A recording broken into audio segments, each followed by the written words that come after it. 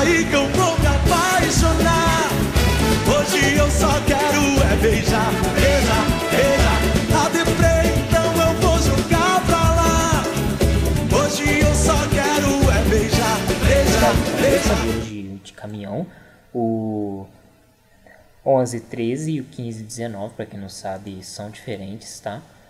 Então, esse esse ônibus, esse caminhão aqui, ele tem aplicação no para-choque. Para você aplicar um para-choque é bem simples. Você vai na peça do dummy do para-choque e dentro do para-choque, eh, no, na, no capô, no para-choque, você coloca a definição que você quer. Você vai criar o dummy F extras ou uma noise, tanto faz.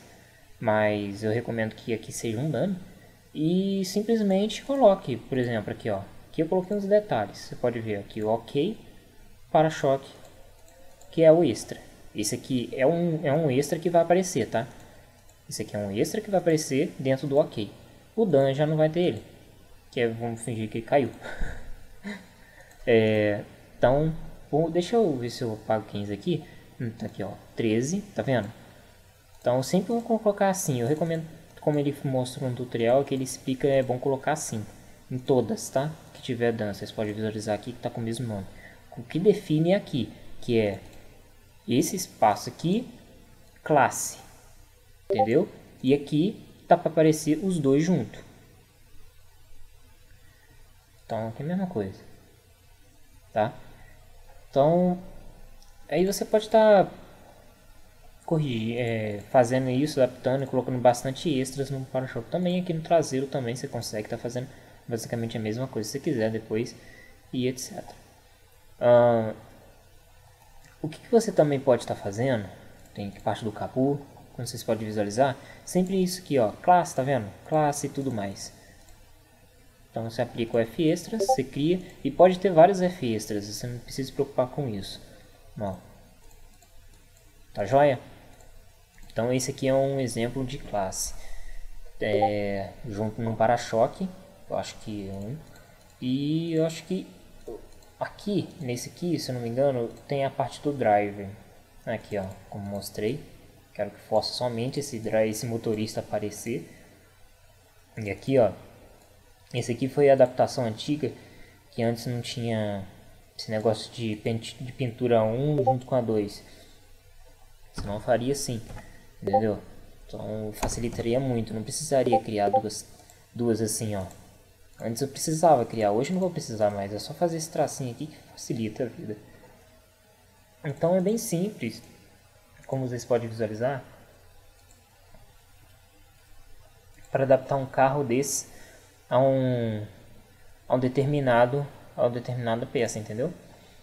Basicamente é tudo leitura, gente. Eu recomendo que vocês visualizem e tudo mais para poder estar tá fazendo isso aí. Isso aqui só foi um demonstrativo para vocês verem como que é um carro adaptado, como que é, assim, explicando mais ou menos as funções. Lógico que não está todas as funções, mas é, já é alguma coisa, certo?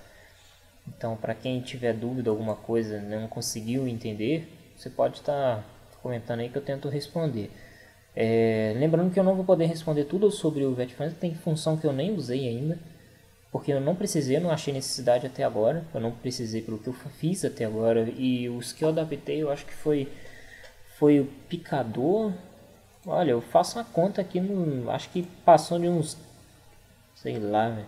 Eu sei que foi um, dois, três, quatro com ônibus agora, né, cinco, seis, ah, foi, foi muito mais, foi muitos da TC que eu adaptei.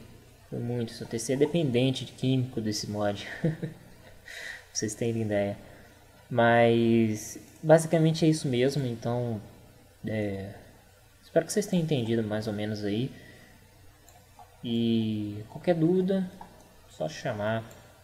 Chamar não, não sei se vou poder ajudar todo mundo, mas é, o vídeo eu mostrei para o intuito disso, para tentar ajudar aí o pessoal que teve dúvida de como está adaptando ou quem não entendeu o texto e ver aqui na explicação como que é.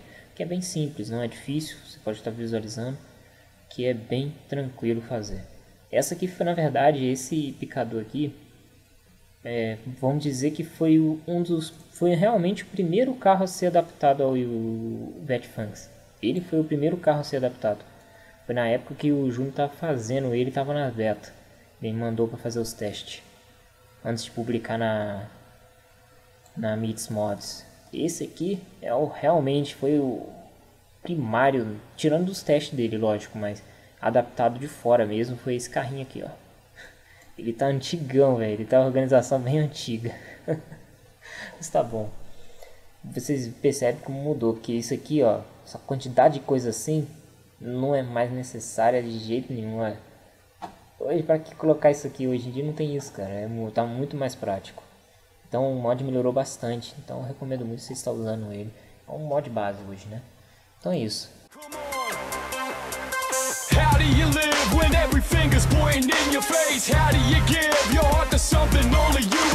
How do you what you're something that you love when you were growing up. Every